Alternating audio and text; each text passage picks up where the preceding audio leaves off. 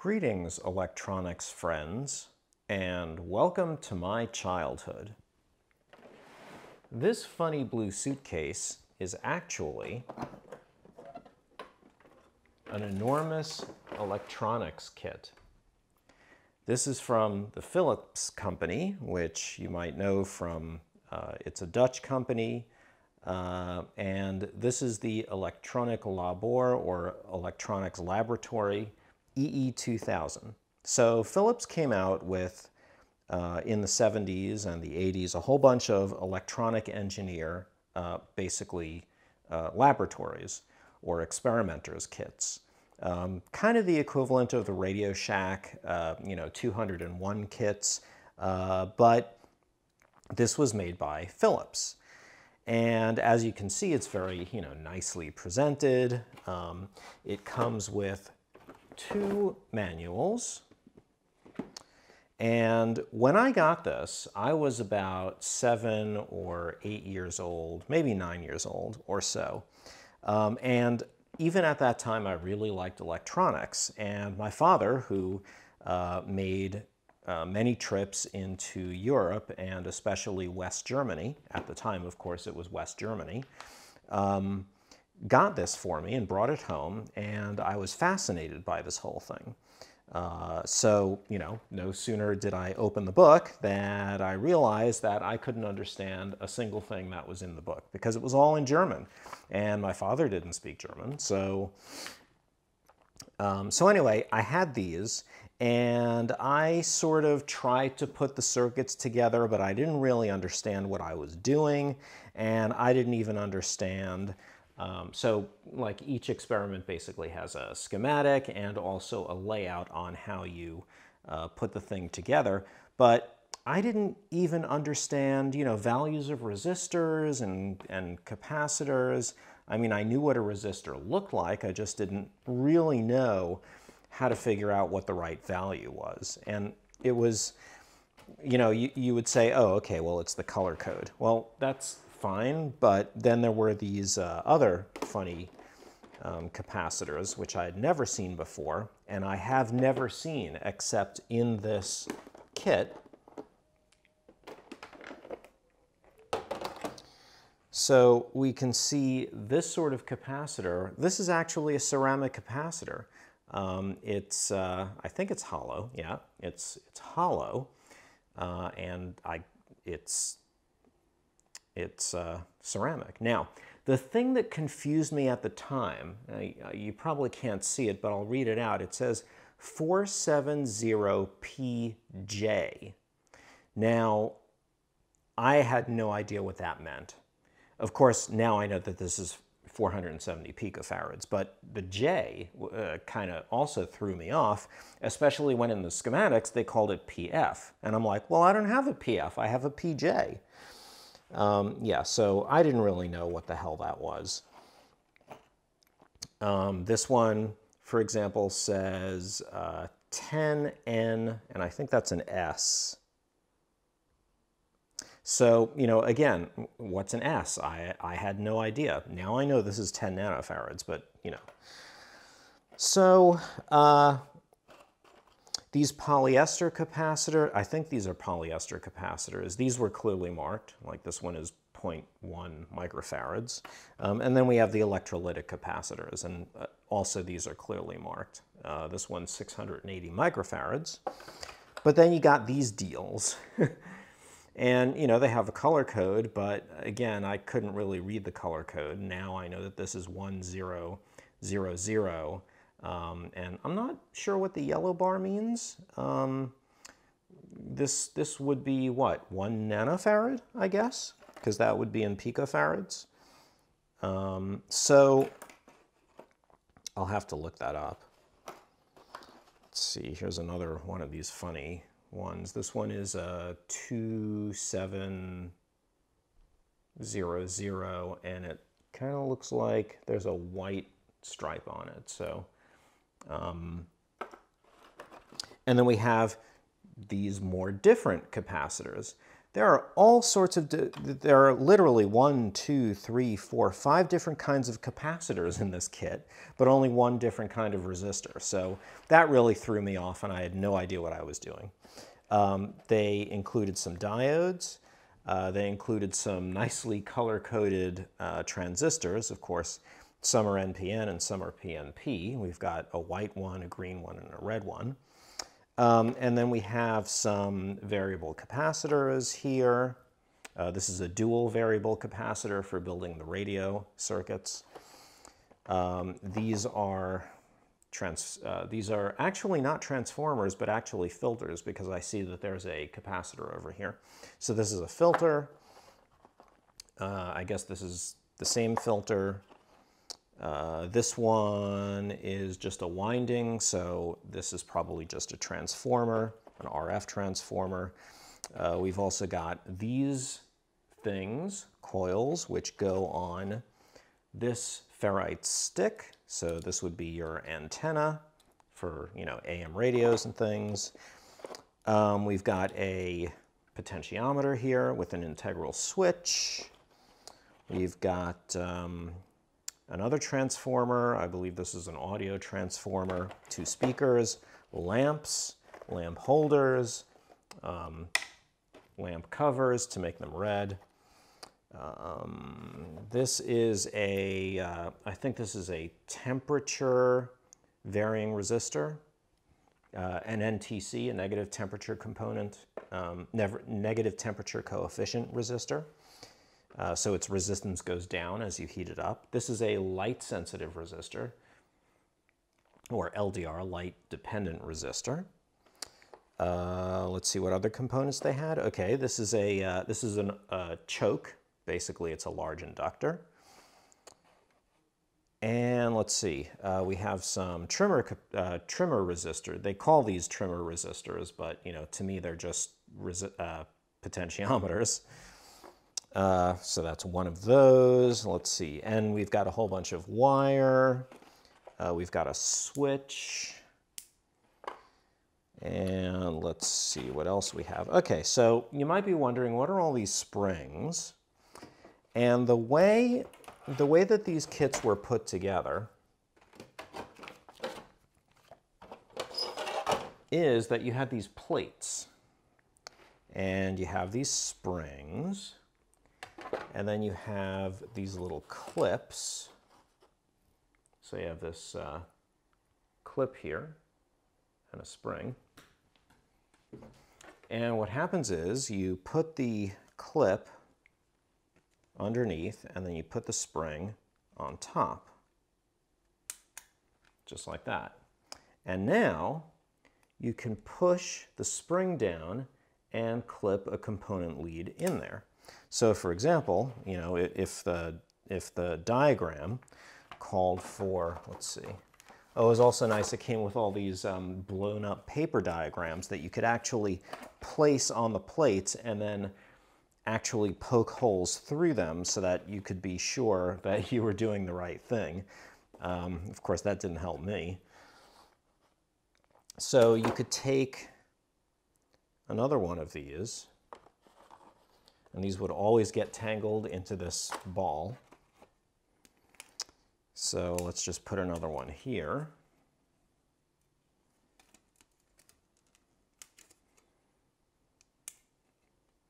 Right, and if the diagram called for this particular resistor to go between here and here, you would just stick this here and stick this here and there you go. So this was basically point-to-point -point wiring. So that's how you would put together these kits. Now, it also came with this control panel, which you had to assemble yourself. So a speaker would go over here in this control panel. Um, the three lights that were included would go here. Um, the potentiometers and uh, variable capacitors would go here. Um, there would be something else over here. Uh, let's see. And you could put switches over here. So one of these switches would actually go, would be mounted in here. And then the wires for that would run out to these, uh, these holes where you would put the clips and springs and the wires would come out of these holes and then you would wire your circuit up to these uh, connections. So uh, the plates would fit together like this and you would connect them using nuts and bolts and it came with a whole bunch of nuts and bolts. I don't think this is the original container. Um, but yeah, so all the nuts and bolts would be in here. And you also got these battery clips. Uh, well, these things. Now the batteries that they used, uh, they used a 9 volt, well, two four and a half volt batteries to power this thing. Let me see if I can find the picture for it. Well, okay, so in the diagrams, they have it as these sort of two semicircles, uh, but and in, uh, in one of them, they actually show the whole thing.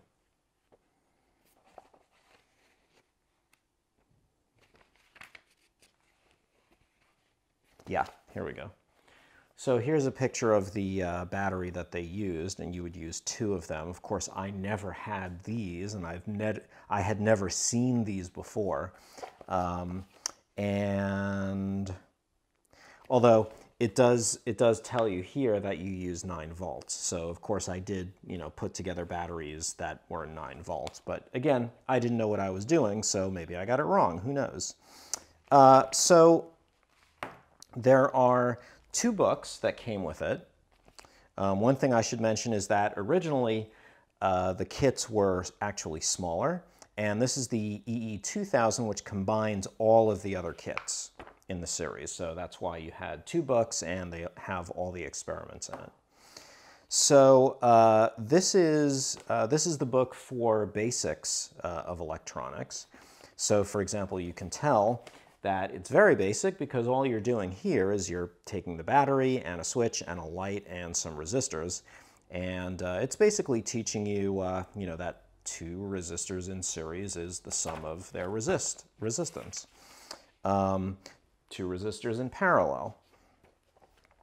Um, and here we're doing uh, current measurement, uh, but of course it didn't come with a voltmeter, so you couldn't measure the current. Um, so here we're using a variable resistor, and I guess you know you would look at the, the intensity of the light to tell that, yes, you were changing the current through it. Um, and it went through, okay, so here's another component that would do the same thing. Um, and then it goes into the light-dependent resistor, so you could, you know, see what was going on there.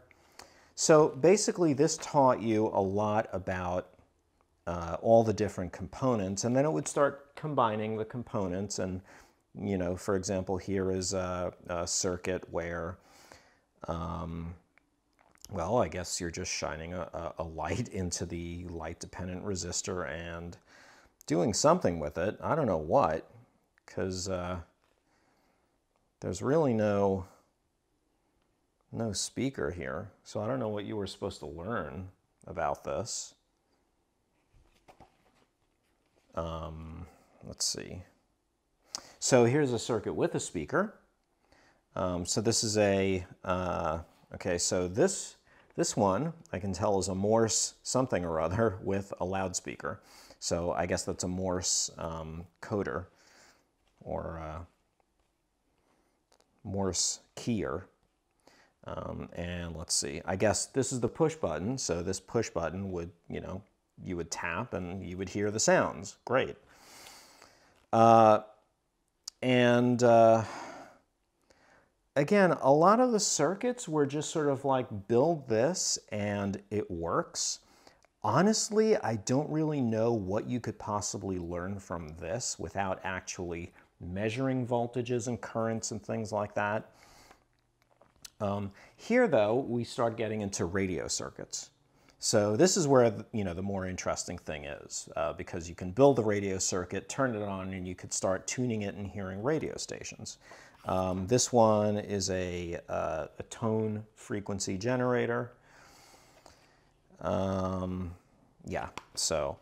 And then uh, you got this book, which was basically uh, virtually all, well, okay, so it, it was basically more than the same. Basically, um, okay, so this is an in-out switch. Um, I think that this is probably a flip-flop. It looks like a flip-flop. Um, okay, so we've got two lights over here. Now, again, I, I still don't speak German, but hey, today we have Google Translate, so I can read all this. Um, okay, this is interesting. So here's a circuit that does something. Um, it, it, it, does something.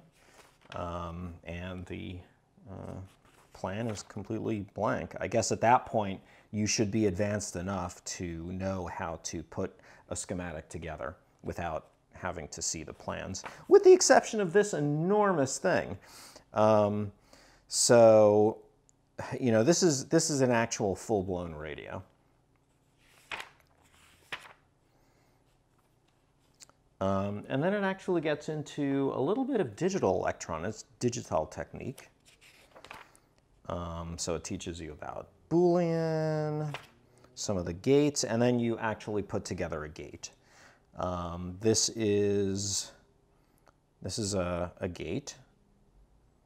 So I guess this is a, an AND gate, it looks like. And uh, later kits, I think, had integrated circuits in it, but this was way too early for that. So, yeah.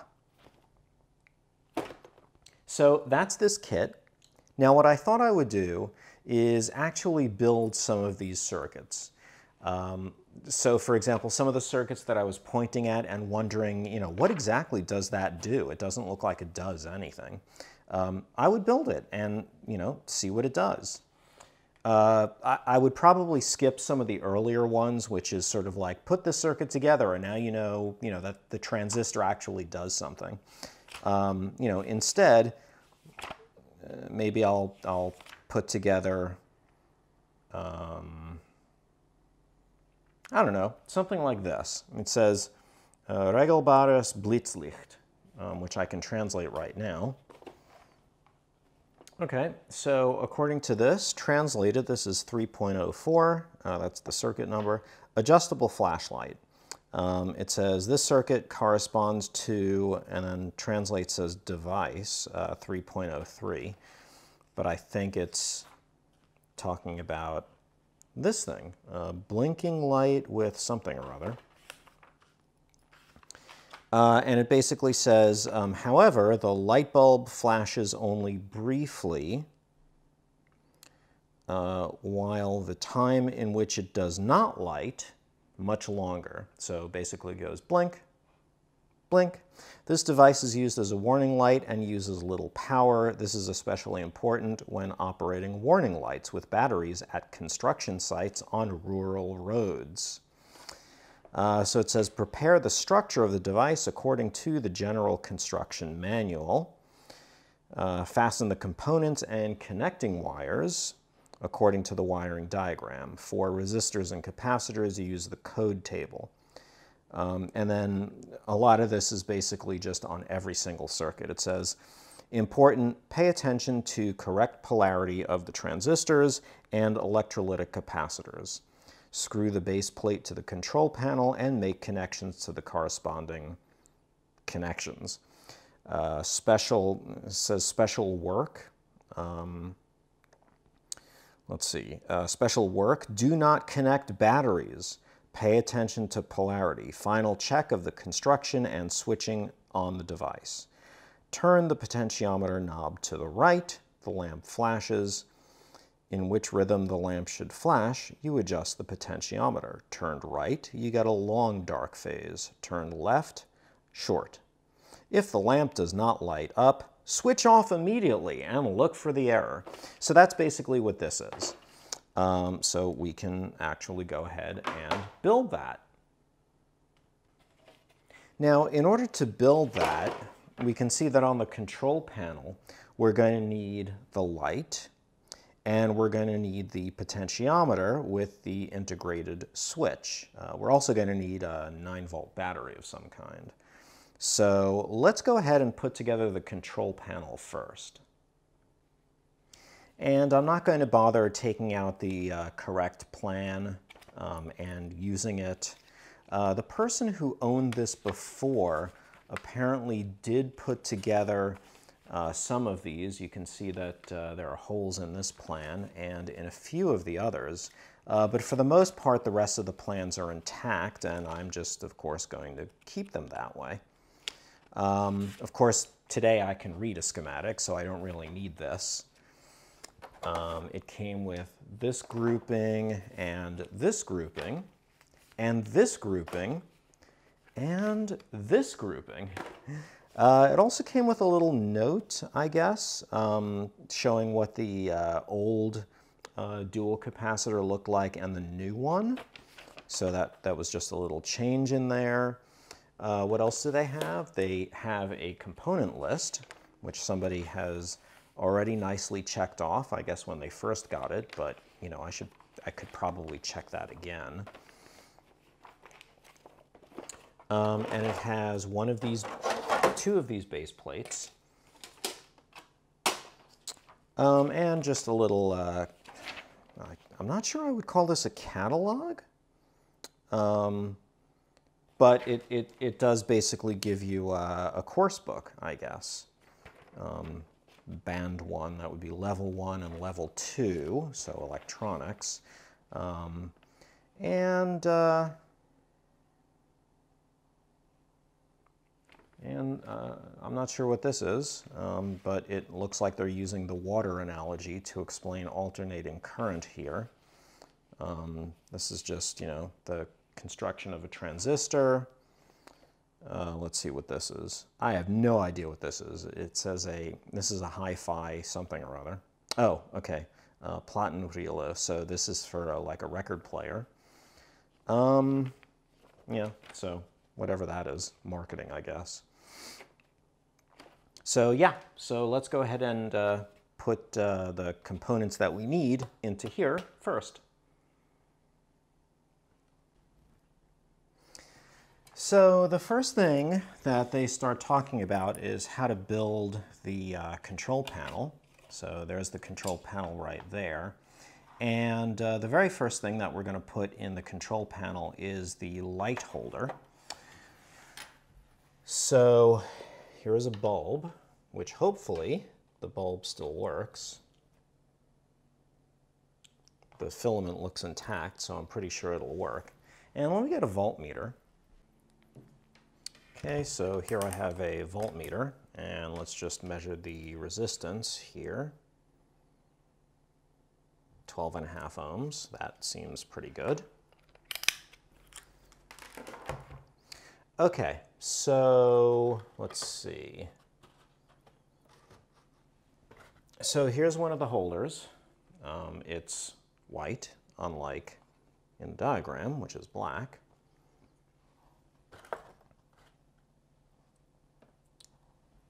and uh, they're all they're all bent like this, where one of the leads goes up and the other lead goes out, unlike in this diagram, but that's okay. It doesn't really matter.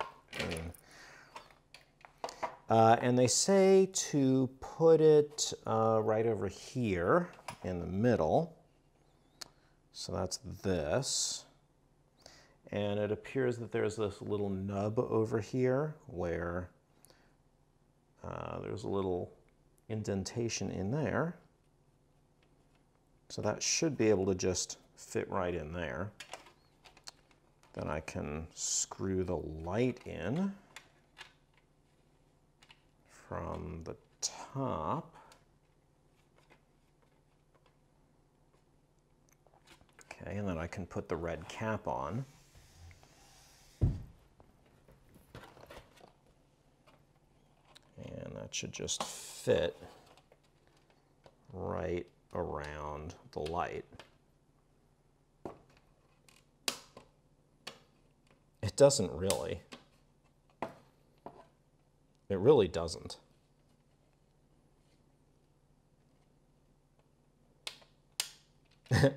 it actually doesn't.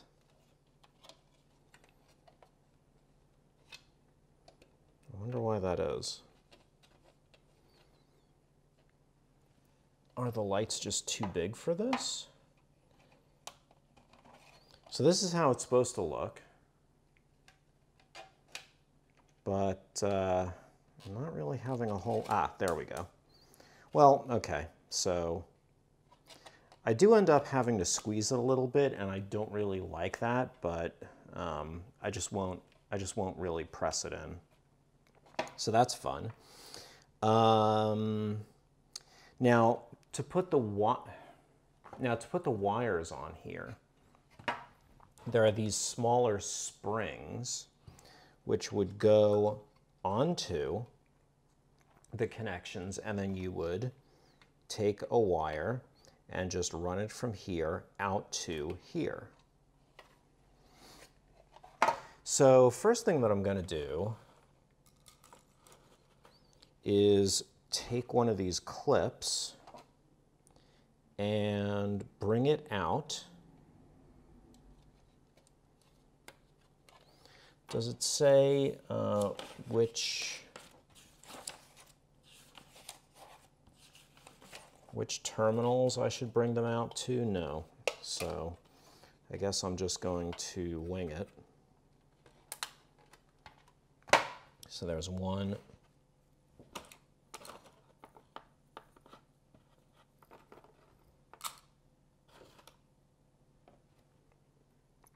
And let me remove this spring and put this here. So these are the two terminals for the light.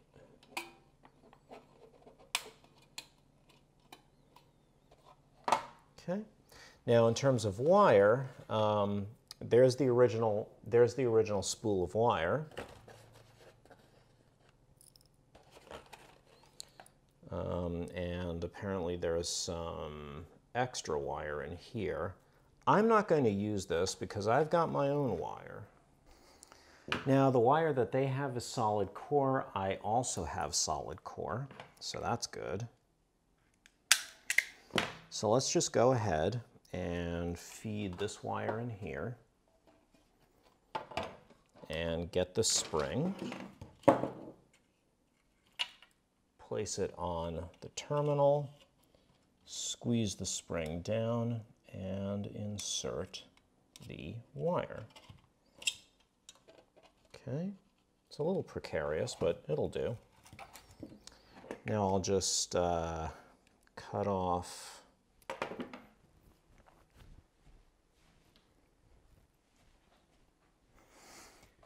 I'll just cut off the wire and cut it to a nice size. It's not too big.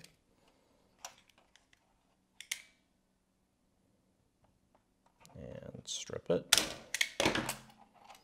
and it just came out. So that's not great. Let's try that again.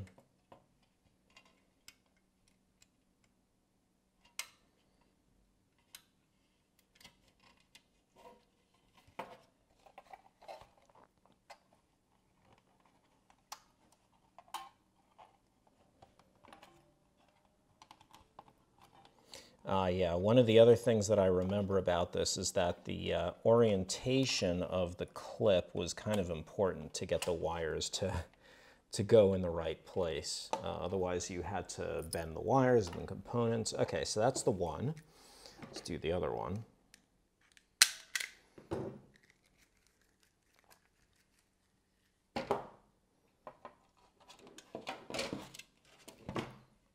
So I need another small spring. Hope I don't run out of springs. Okay, so that's in there like that.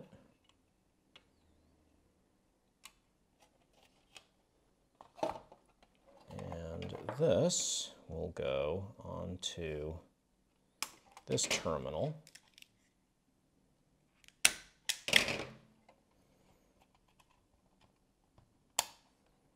Just like that. All right, so now I have the light. I'll just bring my uh, meter in here and make sure that the connection is good. Indeed it is.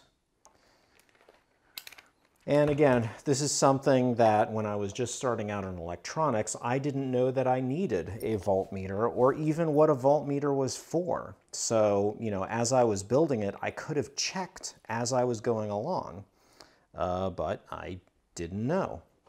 All right, so that's this. Um, this is a component of a switch. So the idea is that this can sort of like go up and down. Um, and where does that go?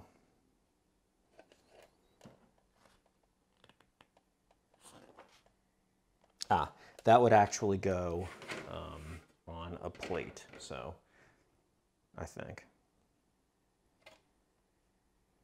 Pretty sure it doesn't go anywhere in here, so we'll just leave this out of it. All right, um, what else did we need?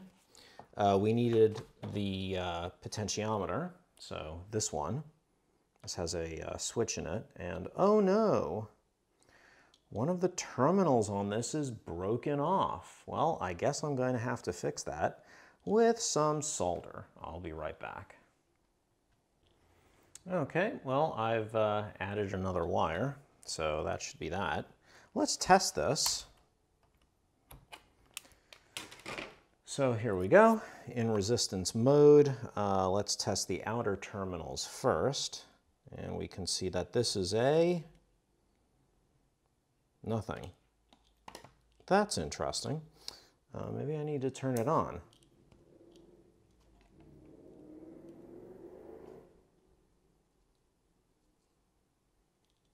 Interesting. I'm not getting any reading whatsoever. All right, well, um, it looks like what I'm going to have to do is open this up and see what the problem is. And if I can't solve the problem, I'll just have to get another potentiometer. Uh, let's see, what, uh, what value does it say the potentiometer should be? Uh, let's see, Widerstand, those are resistors, uh, transistor, diode, diode, diode, well. Uh, let's see, here we go, potentiometer mit Schalter, that's a switch, und Mutter, I'm not really sure what that is. Let's check Google Translate. But it does say it's 10K, uh, so. All right, so I want this to be translated.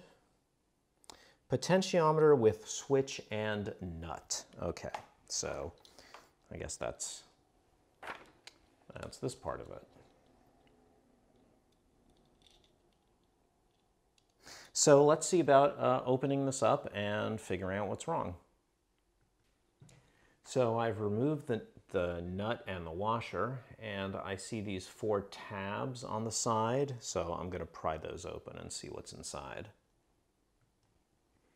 All right, I've opened up the tabs uh, carefully and slowly because I don't want to cause any metal fatigue.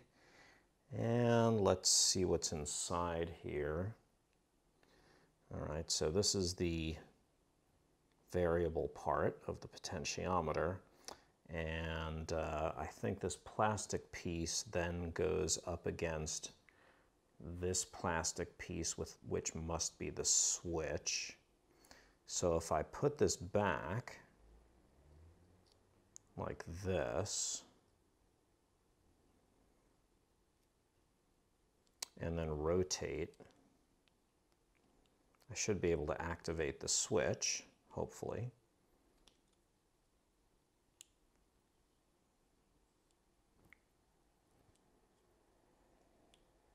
No, well, I'll figure that part out later.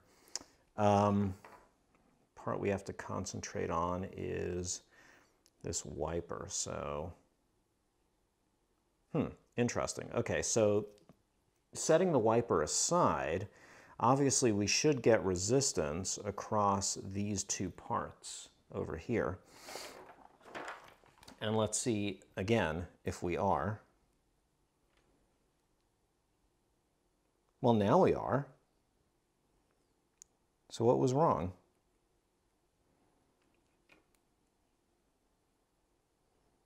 Seems okay now. So I'm going on the part and we've got 10.3K. Oh, maybe a part of it is cracked actually. Yeah, see, I'm touching it and we're getting a little bit of resistance. Oh, that's going through my fingers. That's why. Um, so here I am near the end of the uh, near the end of the travel. So I'm going to bring it up. You can see that the resistance is going up, and all of a sudden, it stops.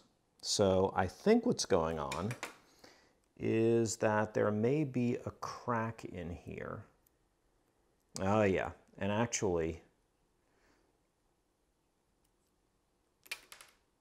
ah, yeah. So, yeah, the thing is actually completely cracked.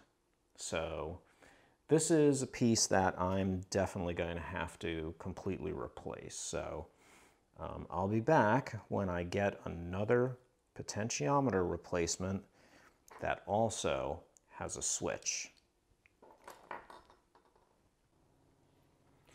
So while I'm waiting for that potentiometer to come in, I took a look at this potentiometer, which is supposed to be a 47K trimmer capacitor, and I did test it, and it tests out correctly. It is a linear potentiometer. Uh, actually, the terminals are measuring 44K uh, rather than 47K.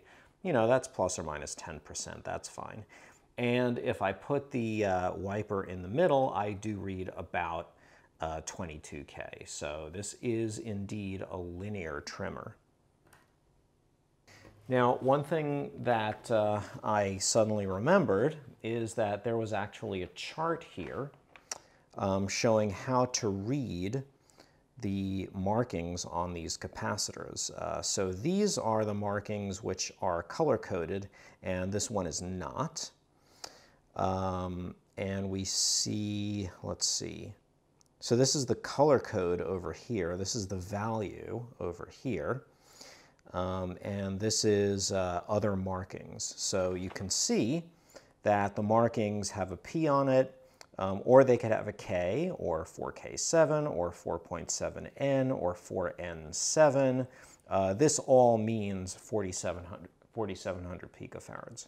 Notice again that there's no J or S at the end, which confused me to no end. Um, so yeah, so I also happened to learn the German uh, colors from this. So, you know, braun, schwarz, uh, braun, schwarz, schwarz is of course brown, black, black. So rot, rot, schwarz. I'm probably terribly mispronouncing that. Um, it would be interesting if they had those other uh, funny looking capacitors in here. And I'm sure they do at some point. But, you know, I could just take my voltmeter, which has a capacitance mode, and just put it into capacitance mode and uh, take one of these one of these capacitors. Now this has a color code of uh, it looks like yellow, violet, red, which is 4700. So, so this should read as 4.7 nanofarads. And it doesn't seem to be reading as anything at all. That's weird. Unless maybe it's because I'm holding it. Oh, there we go. Okay, yeah, it was because I was holding the leads. So this is uh, 5.2, which is close enough. Uh, so here's the ceramic one that reads 10NS, which of course should be 10 nanofarads.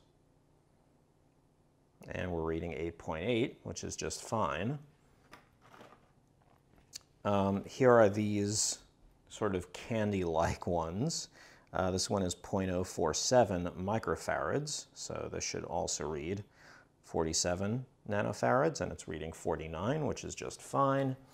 Here's a polyester capacitor. Uh, this one says 0.1 microfarads, and we're reading 100 nanofarads, so that's a good one. And then we've got uh, the electrolytic one. So the positive end is here, and this one is uh, 100 microfarads. So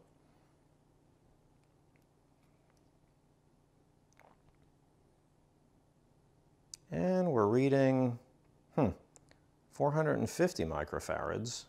That's quite a lot. Did I get this right? Yeah, this is 100 microfarads at 10 volts.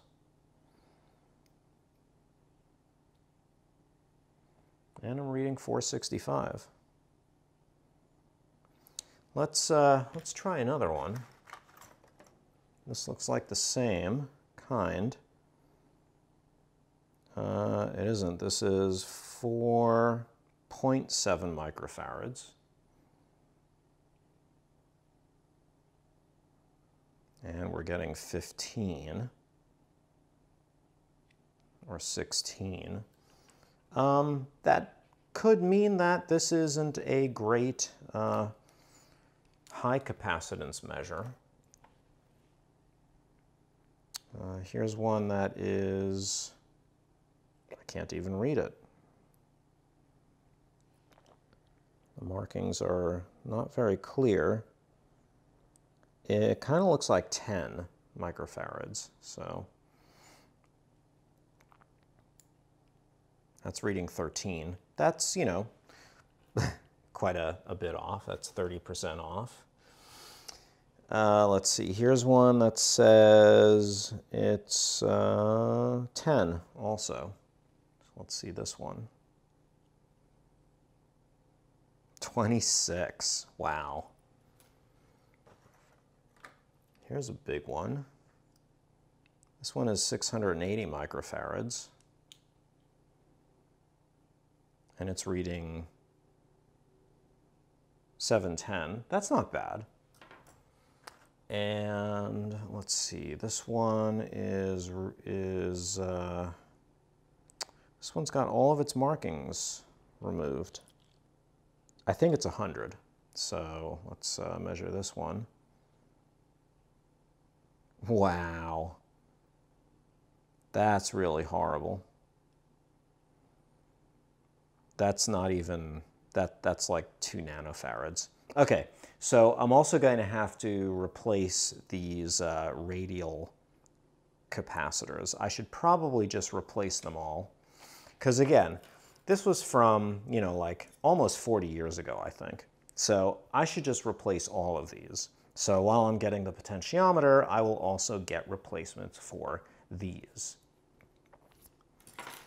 Uh, just for grins, here's the light-dependent resistor. Uh, let's take a look. Uh, that's the NTC. Uh, where's the where's the light? Ah, uh, here we go. LDR. Lichtempfindlicher Widerstand. Okay, um, so it gives various lux. Um, in dark, it says it's 10 megohms, uh, but with 10 lux, it's 9K.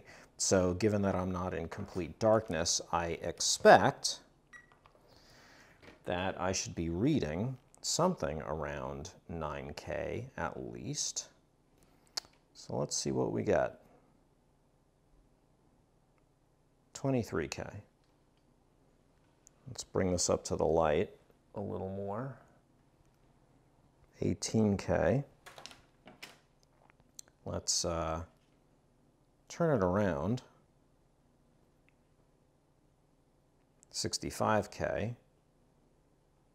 88K, 90K. So yeah, it is it is light dependent. Let me bring it up to the uh, to the camera's monitor. All right, 44. It's clearly not putting out a whole lot of light. And now, let's turn on my flashlight and see how it likes that. So I'm just going to blast the light there and see what we get. 20 ohms. Yeah, well, it's certainly light dependent. Okay, so I would say that this is probably just fine. Uh, the other one is the temperature dependent resistor. And it says the temperature dependent resistor is 130 ohms. So I don't know if that's at room temperature, but let's take a look.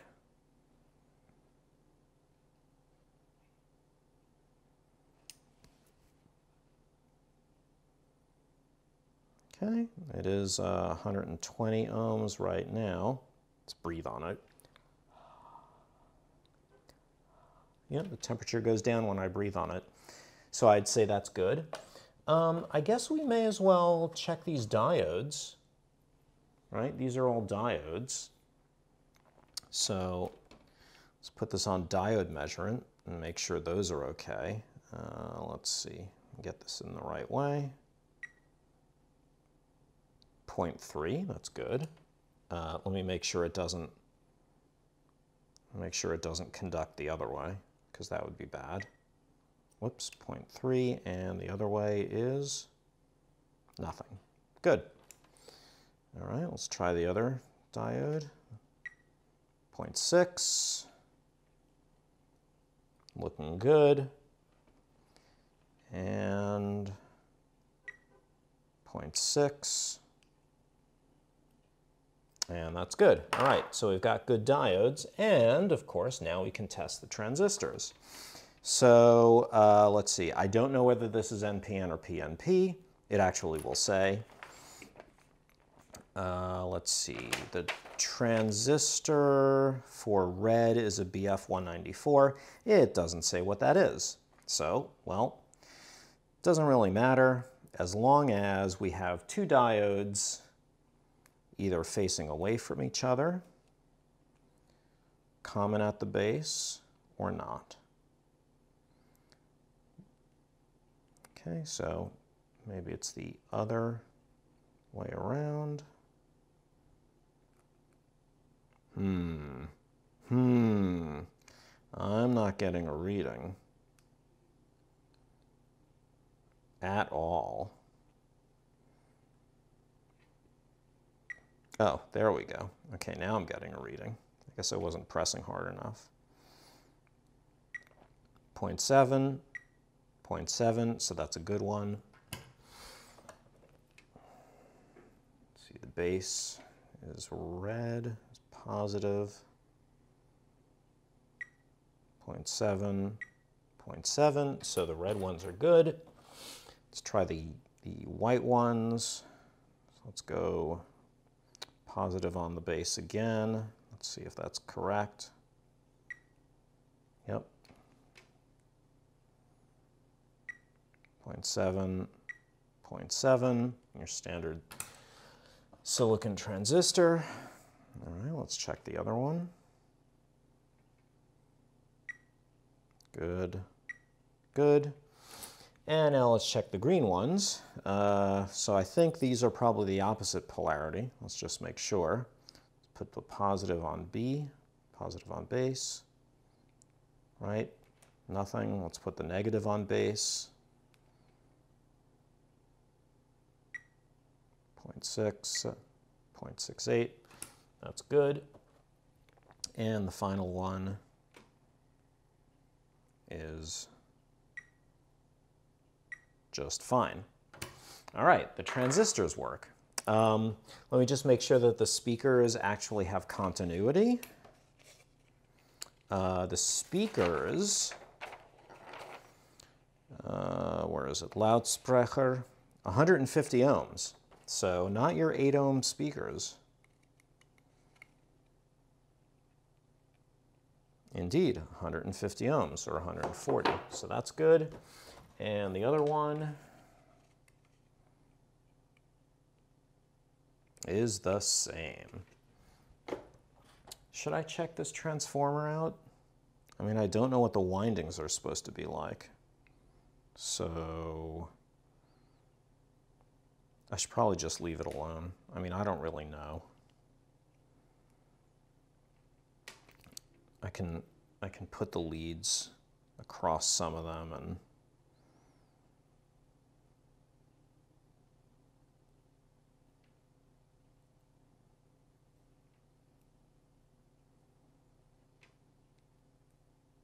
yeah, I don't really know what I'm doing. I mean, it kind of sort of seems like something's going on, so I don't know. Um, same thing with these uh, coils. Again, not really sure whether it's a continuous winding or not. I could just, you know, try. Well, there's continuity. There's no continuity, no continuity, some continuity. I guess these are two coils. Um, I could check the uh, inductor here, make sure that there is actually continuity. There is, good. Okay, I think that pretty much covers everything. Um, these I'm pretty sure are fine, so I'm not even going to bother with checking them. Um, I suppose I could check these variable capacitors, but I'm not sure what they're supposed to be reading. Uh, does it say here? Polyester, electrolytic, ceramic. Uh, here we go. This is the variable condenser, one of them so this is the single one, 5 to 180 picofarads. I'm not sure I'll be able to measure that. But let's see.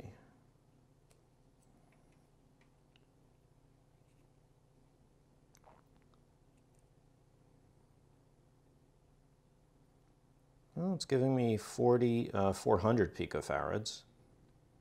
Of course, you know, I'm not nulled out or anything. And it does seem to change when I turn it, so I guess that'll be okay. And this is the uh, dual one. So this is the Zweifach Drehkondensator, uh, 180 picofarads, same thing. Um, so again, I'm not sure which terminal is which.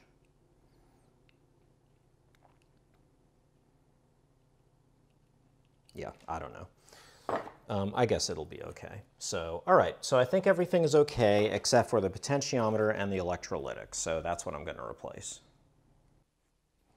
Well, it's been a few days and I've gotten my components back from DigiKey, so I've got all the electrolytic capacitors that I need. I've also got some battery compartments, um, battery holders for D cells and C cells, uh, which go up to 9 volts, so that can power this thing uh, because it takes 9 volts. Unfortunately, it looks like uh, the potentiometer that I got is the wrong size. I mean, clearly it's smaller. It does have a switch. It is 10K. It is logarithmic. So really the only thing is, uh, the only thing that I kind of care about is will it actually fit into here? And it, it does um, sort of, let's see. So I think the idea is that I would just be able to connect that up like this. And then, yeah, that works. It's got a button. I mean, it's got a switch. So I think that works. Um, the only question is, uh, there's a knob that's supposed to go on it, and it's probably going to be a little too big. Um, it does have a place for a screw, but I don't know if this is actually going to work. But, you know, I'll, I'll live with it.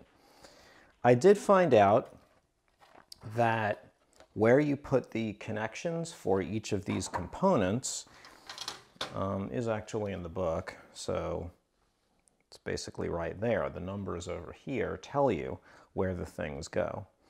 So we need to put in, let's see, which, which one were we doing? 3.04 or something? 3.04.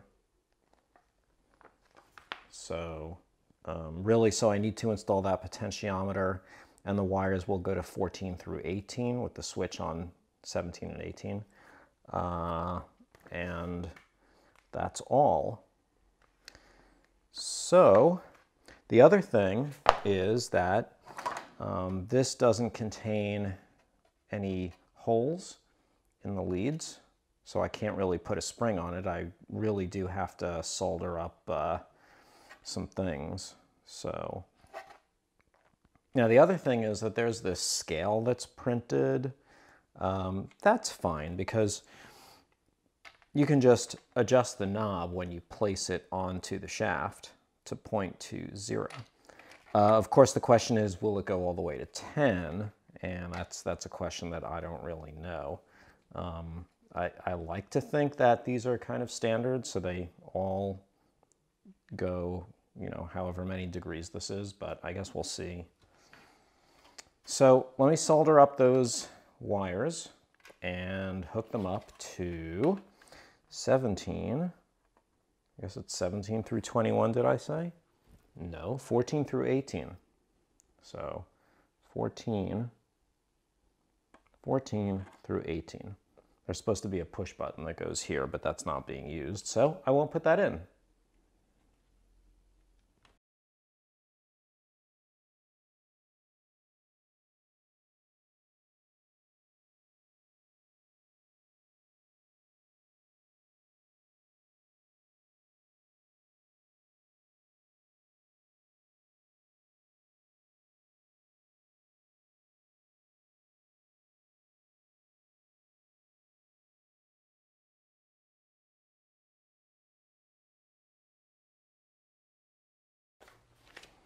All right, so um, in order to install the knob,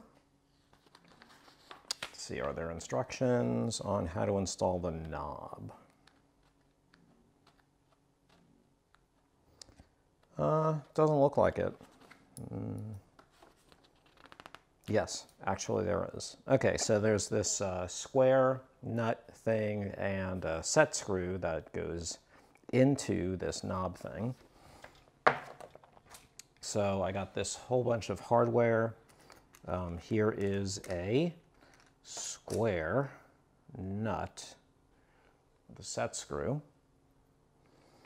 And that goes in here.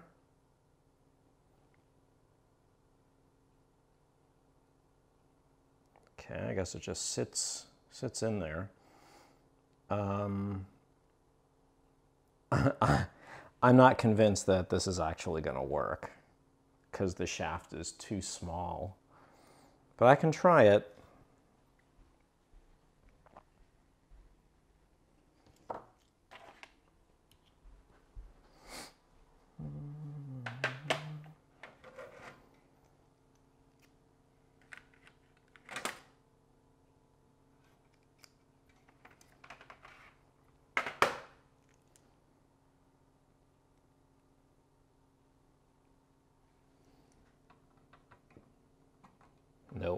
There's no way that that's gonna work. Uh, okay, well, that's okay. I have a 3D printer, so maybe I can 3D print something up, design something that's as, as large as this, but inside it's smaller, uh, so that I can attach it. I can do that,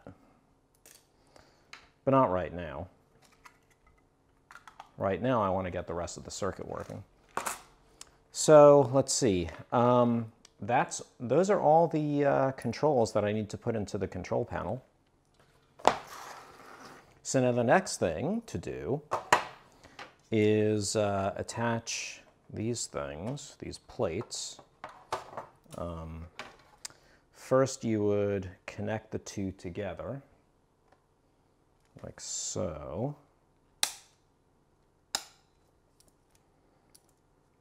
Huh. Okay, I don't remember them actually snapping into place. Well, okay. There are holes through here and here where you put screws, which should be included. So yeah, there are these screws.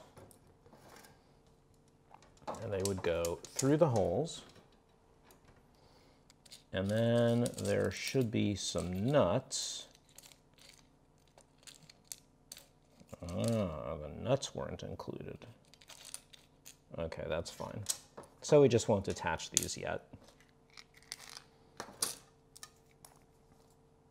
So we can just uh, push this push this together and pretend that it's uh, secured.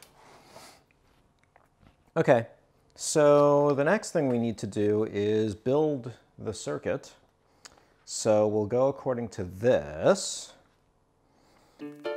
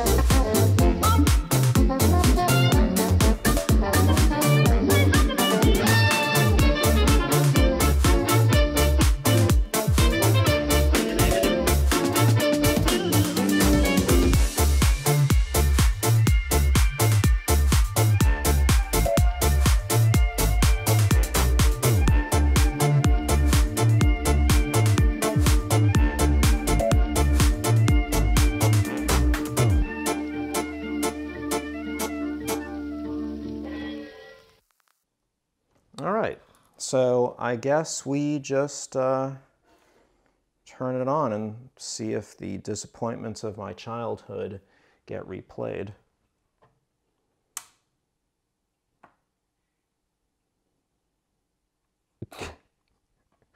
Nothing's happening.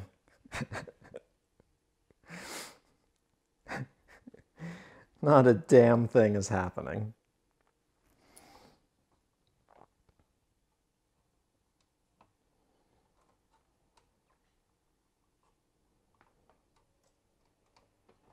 Okay, one possibility is that uh, is that the wires from the lamp in the back got disconnected. So let me double check that. No, it looks okay. It looks fine. All right, let's do some basic debugging.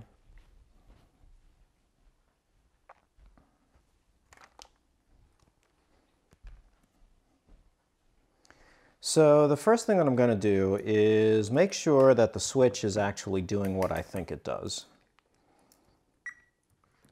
So I'm going to connect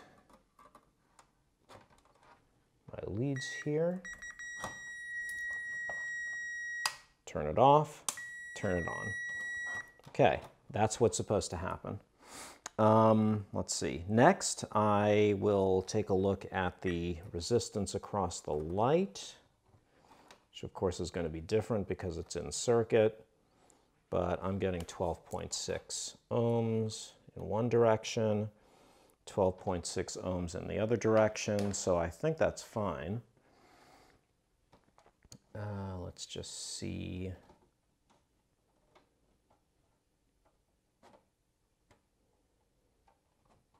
Making sure that all the connections seem okay. This one seems a little loose. So let me maybe tighten that up. All right, let's try one more time.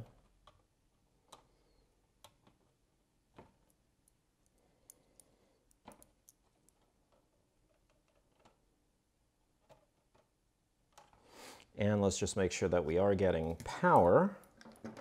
So volts. Let's put ground here and power here. Oh, I see 0.4 volts. That's obviously not correct.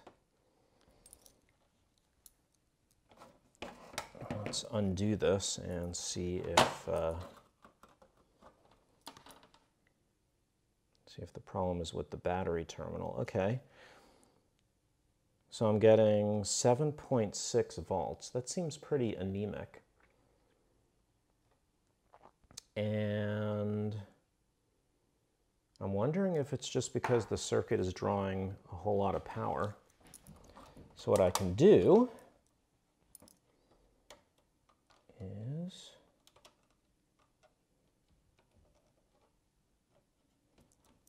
connect this up.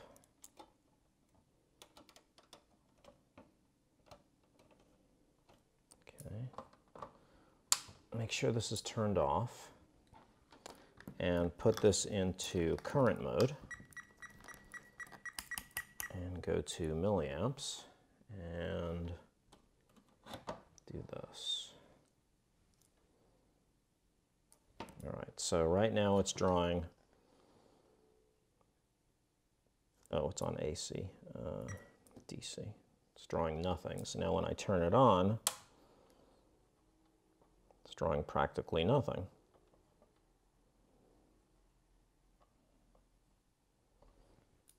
Okay. Let's go back to volts.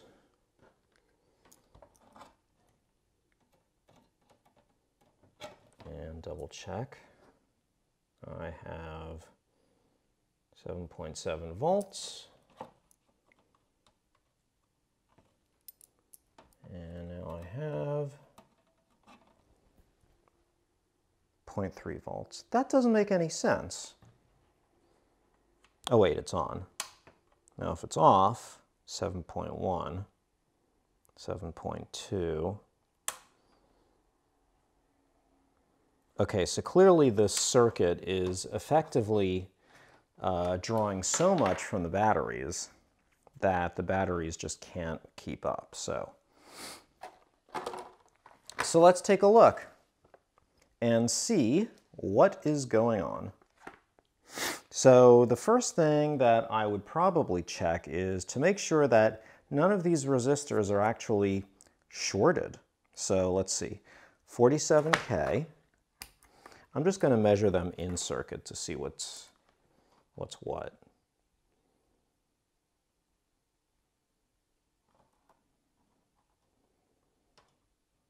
Okay, so this is actually measuring well, it's 120 and it's going down because of the capacitors in the circuit.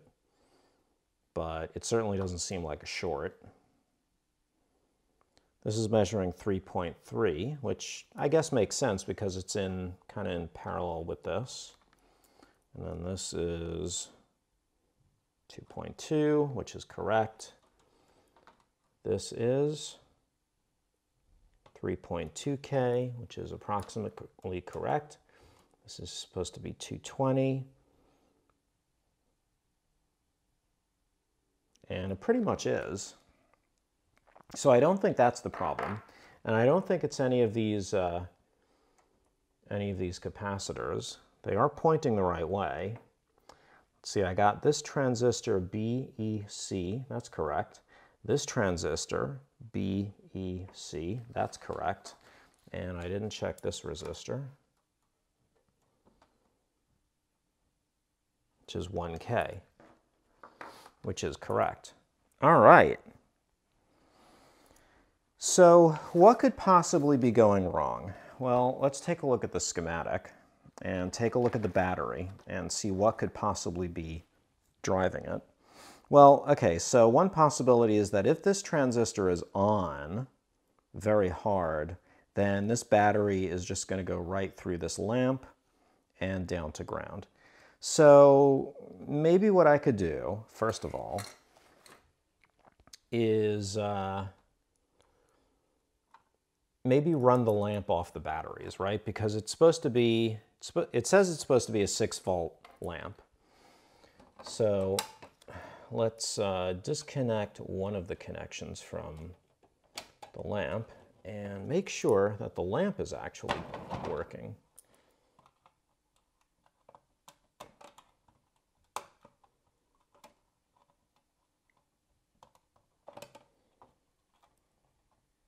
Uh-huh. So the lamp is not even running. That's interesting. So uh, let's see. Let me take a look at one of these lamps. See if this one lights up. Uh huh. That one's not lighting up. And that one's not lighting up either. Are all these lamps just duds? I think so. Well, I think we've solved one of the mysteries, but the other mystery is that I measure the resistance on these bulbs and and they're correct. So why aren't they lighting up? Let's double check that. It just doesn't make a whole lot of sense. All right, here's a lamp holder. So let's just screw this in.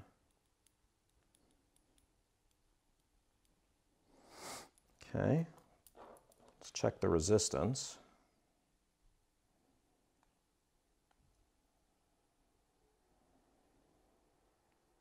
Okay, see the resistance is uh, 13 ohms or so. And that to me says that the filament is okay. See, that just doesn't make any sense. All right. Uh, okay, last, last thing to check is the voltage as it's powering the lamp. So zero. I'm getting zero. All right, these batteries are probably dead. That's the only thing that I can think of, that the batteries are completely dead. So in fact, if I measure them now, yep, they are pretty much flat. Okay. Well, that probably explains things. Uh, unfortunately, I'm going to have to get more batteries. What I can do is just get a 9 volt battery.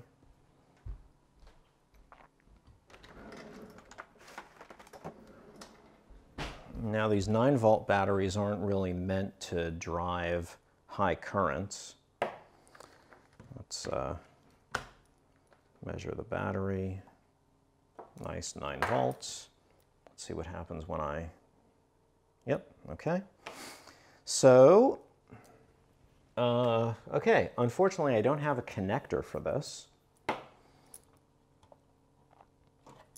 So what I'm gonna do is I'm just gonna turn this on and um, I'm going to make it so that I can actually just put the battery terminals onto uh, like here, so which is the negative side, this side. So I just want to do this. So that means that I want one spring clip here, clip here,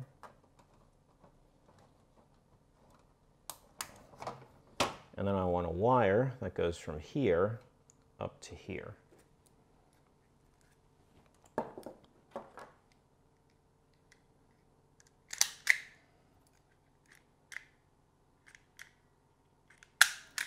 Now the weird thing is that is that I bought these batteries, uh, well, a while ago,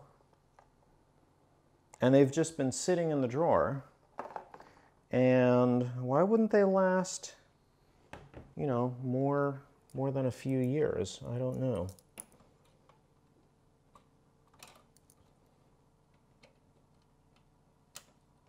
Okay, so let's see if the circuit will actually run on a 9 volt battery. Ah, there we go. Okay, well, that's, that's how it's supposed to work. It's, it says it's like an emergency flasher or a roadside flasher, and you can change the, uh, I guess, the timing. All right. You can make it go slow.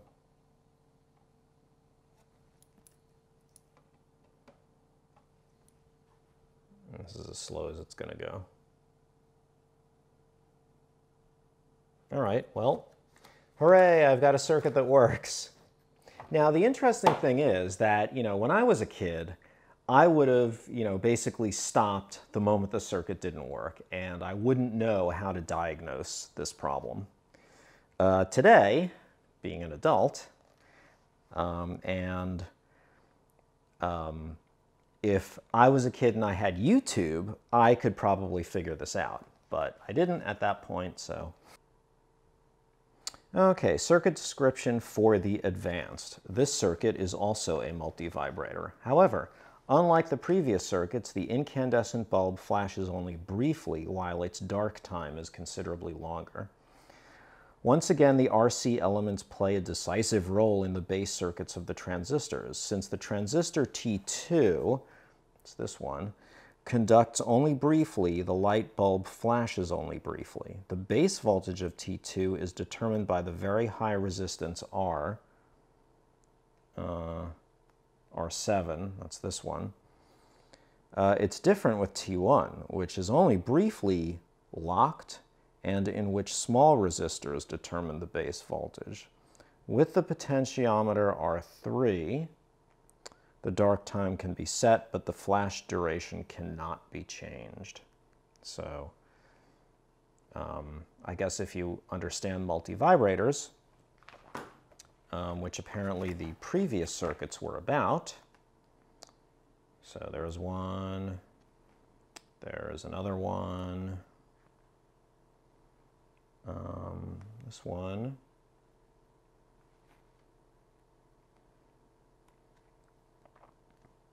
So yeah, so anyway, there you go.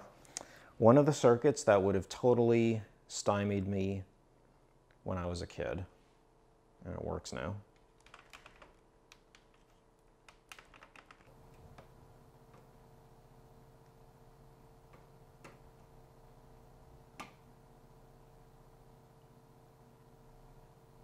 There you go, eight-year-old me.